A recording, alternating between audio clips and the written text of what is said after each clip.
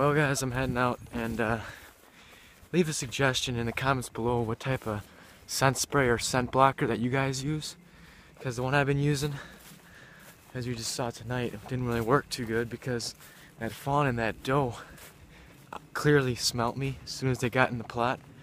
Even though I, I could have took a shot at either one of them, they were pretty wary and it's not what you want. So, I guess that's the end of this one, guys. It wasn't really the greatest hunt, but I guess see you next time.